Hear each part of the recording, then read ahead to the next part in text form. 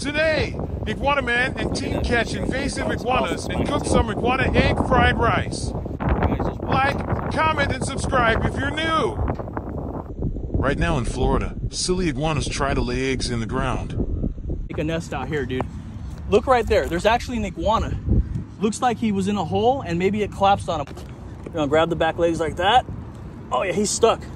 He's stuck. Oh, there he is. There he is. Oh, well, oh, there he is. It's like a baby. There you go, dude. Just like that. Looked like it would looked like it was collapsed on him for a second. Egg laying Laying season. eggs, So they're going in there trying to lay the egg. Hold this up again. It's like something I'd see in the worst deli ever. 11, 12, 13, 14, 15, 16, 17, 18, 19, 20, 21, 22. Welcome to the Iguana Man YouTube channel. This video is brought to you by FX Airguns and the support of loyal viewers like you. So thank you. In a bushel. Yeah. They love these things, man. The, the smaller to medium ones. The larger ones don't really get up there. They, you know, just, it's not easy for them. But man, you'll be walking through some of these areas like this, and you'll hear them. You'll constantly hear them in there. And one of the spots we're going to hit today, I mean, we literally, God, we we almost nailed six out of them. You know. I mean,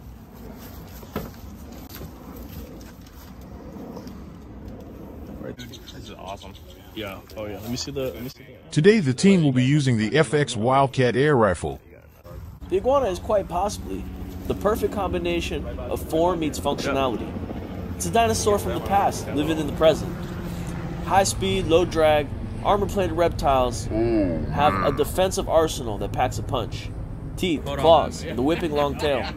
He's gonna cut. If you think these teeth are jokes, pound for pound, these lizards have the force of an alligator bite. Given the opportunity, they'll take a slice out of you like a ninja and cut you like a razor blade. That was it, bro. that was it. Today we're meeting up with Mr. Iguana Steve.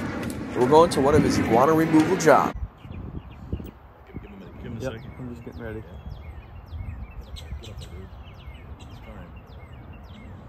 So Take, strong. take the shot. You, you- you got the best shot right here, right now. That smoked him. Sheesh. I know that one hit him. He's Oh, coming yeah. right towards us. He's gonna fight now. He's coming right towards us. He's gonna take over. You might. He's down- he's trying to get him Hold on. on. Iguanas are capable Hold swimmers. on, wait. See, he's gonna go. see if he can Iguanas have long, muscular tails that help them navigate in the water. They use a combination of their legs and tail for propulsion, and their limbs function like See him in paddles.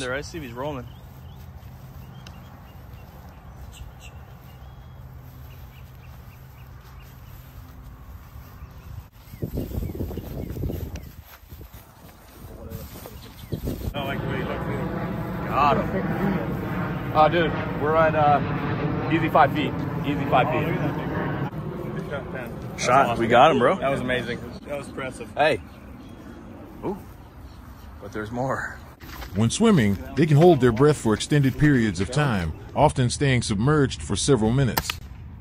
Swimming is particularly important for iguanas living on islands, as it allows them to move between land masses and find new food sources or mates. Another one has come up. This tree right there. he's the man with the plan. Got it. Live action. It is believed that iguanas were first introduced to Florida in the 1960s and 1970s when they were brought in as pets. Over the years, some individuals either escaped or were released into the wild, and they have since established breeding populations in certain parts of the state, particularly in the southern regions. Oh, we going to Steve. In action. Yep, you want to Steve. Get him, Steve.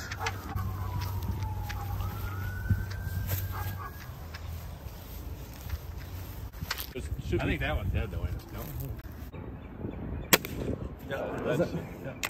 The population of iguanas in Florida has grown significantly since their initial introduction, and they are now considered an invasive species in the state. Great shot, dude. He- I think he was a couple down. Let me get my uh, get my stick. Yeah, get your stick, Steve. Like the, yeah, we're right. ar- I'm thinking, of the, I'm thinking of the first spot. Oh, right here. Boom. Right there, dude. In the grass. That is beautiful. That Cool is color. A little different than the rest of them. You know what? What? See the plant right there? Yeah. Smell it. That's a fresh mint. That's the mint? Yeah. Really?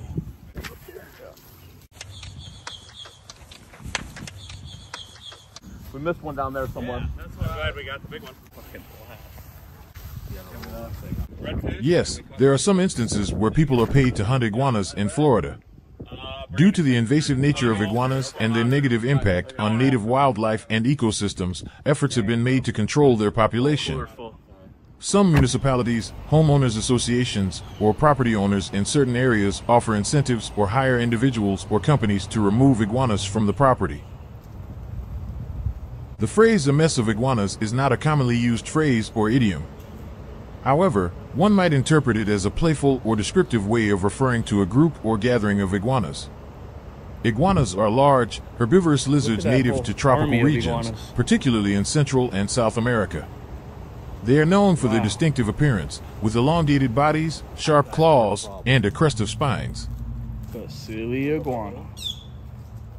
It's worth noting that while iguanas are generally docile creatures, they can become territorial or defensive if they feel threatened.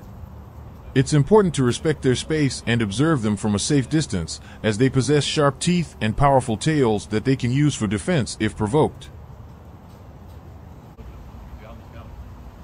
Iguanas are known to spend time near bodies of water such as rivers, streams, ponds, and even coastal areas. They may swim across water bodies or use floating debris as a means of transportation. Their ability to float and swim enables them to access food sources, escape predators, and regulate their body temperature. Hand me the. Got him, man. The way out there, don't look like it's that hard, but it's pretty tough. It's getting heavy. Oh, wow. The taste of iguana meat can vary depending on personal preferences and how it is prepared. Some people describe the taste of iguana meat as similar to chicken or fish, while others find it to have a unique flavor. In certain cultures, particularly in parts of Central and South America, iguana meat is consumed and considered a delicacy. It's worth noting that the preparation and cooking methods can significantly affect the taste and texture of iguana meat. It is often recommended to marinate the meat or cook it with flavorful ingredients to enhance the taste. Additionally, the age and diet of the iguana can also influence the flavor of its meat. Some big lizards, man. Big lizard. Right now, Iguana Man and Iguana Steve go to a gas station job that is being taken over by invasive spiny tail iguanas. They have been given the green light for the removal by management. Iguana Man family, it's your boy, the Iguana Man with Iguana Steve. What's happening. I know the guy that works there. I'm in there all the time. I'm, I'm a regular there, you know. And he was, you know, he knows what I do. So he was just, you know, he was telling me that there's these big, uh, there's spiny tail iguanas that just, you know, they're they're not afraid of people. You know, I mean, they're a little skittish, but they're also more aggressive. And you know, people see these big beasts, these big lizards, and dude, they freak them Yeah. out. You know, they don't they don't want them there. Hey, Carlo. You know what? There's two of them. They're they're fighting. Oh, yeah. Go ahead. Hurry before you get caught. I like that green. Hey, you see this, this one? I shoot it? There was two males. Yeah, use that one. There's two, there were two males. They were they were showing their dominance. They're being alpha, huh? He's on the right side of that wood pile. Nice. Shoot another one? Hold on. Yep. That's it. That's it. Boom. three for three. Four for four. Just want to make sure your back shot is Yep. good. Yep. Safe one. Yep, yep, Is yep. The left or right? The left. Okay.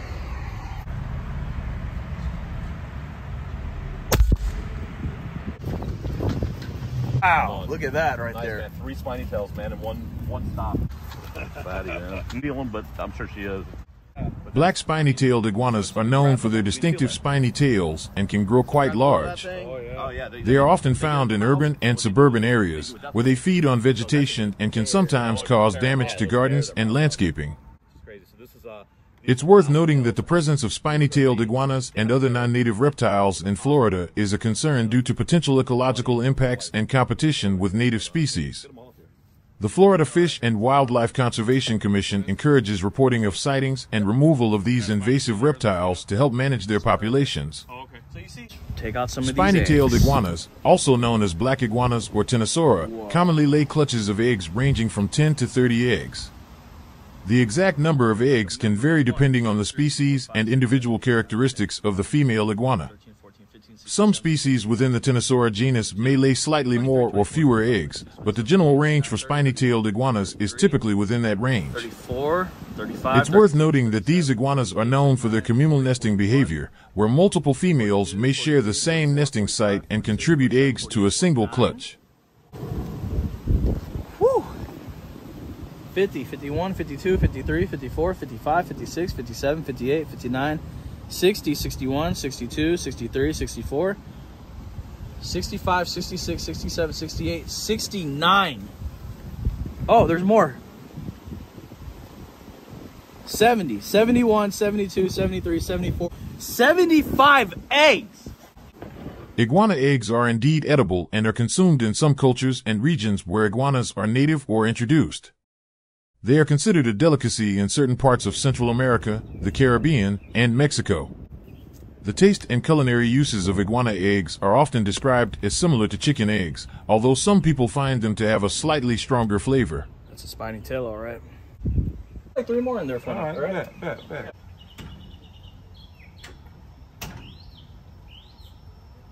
Okay. We're gonna go ahead and raise the heat up just a tad.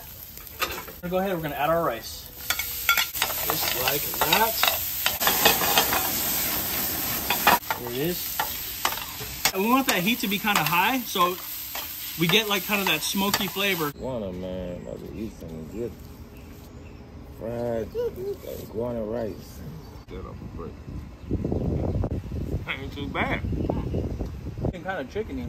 Yeah, it does. Mm. Yeah. I think she does. I think she does too. Yeah. This right here tastes like something from the restaurant.